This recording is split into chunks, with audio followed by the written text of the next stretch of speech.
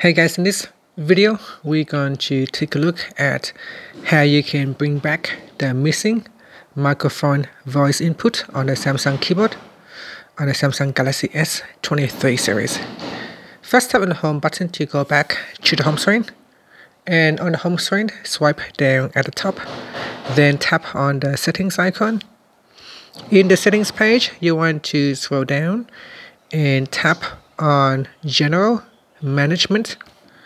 Next, we scroll down and tap on Samsung keyboard settings. And then scroll down and from here, tap on voice input. Now, in here, it probably has been set to none, so that's why the uh, microphone voice input is missing from the keyboard. So you want to uh, change that and tap on Samsung voice input or Google voice input. After that, tap on the back key or tap on the home button to go back to the home screen.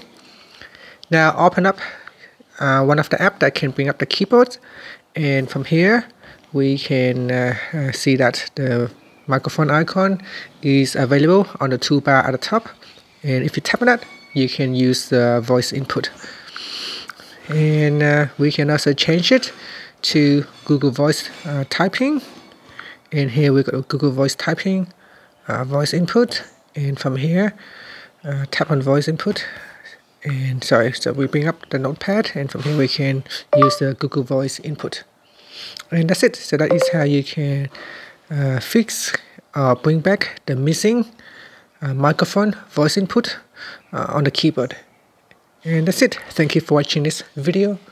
Please subscribe to my channel for more videos